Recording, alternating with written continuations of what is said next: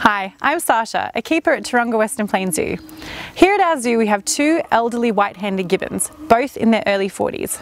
They were originally born in Melbourne Zoo and joined us here in the early 80s. They have lived together most of that time as gibbons are a monogamous species, generally finding a mate for life. Gibbons are lesser apes. There are many ways to tell apes apart from monkeys, but the most obvious is that apes do not have tails. Don't forget that humans are part of the great ape family, so we're not too distant from our gibbon friends. There are 19 species of gibbon, and all of them are found throughout Southeast Asia. White-handed gibbons, also know, known as the lar gibbon, are medium-sized members of the family and are mostly found throughout Thailand and Malaysia. In the wild, all gibbons' preferred habitat is rainforest, but they are sometimes found in bamboo forests as well. Here they live an arboreal life, meaning that they spend all their time in the forest canopy. You'll hardly ever see a wild gibbon on the ground, as they are vulnerable to predators there. Climbing trees all day may sound tiring, but these gibbons have some great adaptations to make life in the trees easier.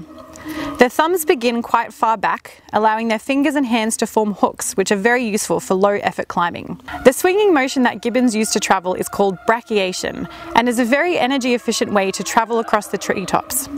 Another excellent adaptation that gibbons have is in their wrist. In humans, the joint that connects the top of your leg to your hip is called a ball and socket joint. It allows you to move your leg around in every direction with ease. You'll quickly notice that our wrists do not allow the same range of movement, but gibbon wrists do, because they also have a ball and socket joint there. Both brachiation and these wrist adaptations are unique to gibbons. In the forest, they live in small family groups from two to five individuals.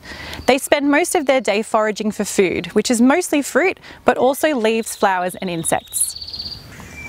In the mornings and the afternoons, they will sing a territorial call, which can be heard over long distances. Here at the zoo, we have two species of gibbon, and they sound very different to one another. Our siamangs are actually the second loudest primate on the planet, beaten only by the howler monkeys. Unfortunately, these charismatic creatures are suffering in the wild. Like so many other species, they have lost most of their habitat and are frequently poached for the pet and tourist trades. While observing our beautiful white-handed gibbons, you'll likely see them grooming each other, resting, and if you're lucky, you'll even hear their musical call. If you're in another part of the zoo and you hear something that sounds like a car alarm, followed by a stunning vibrato, that's them. You can tell these two gibbons apart by their appearance and personality. The male is more buff, especially in his arms, and has a squarer face. He also loves showing off to people. The female doesn't pay much attention to visitors, but you can often see her catching flies and other insects with impressive speed. These two have earned their retirement, and we hope they enjoy their relaxed life, free from the knowledge that their wild cousins aren't doing so well.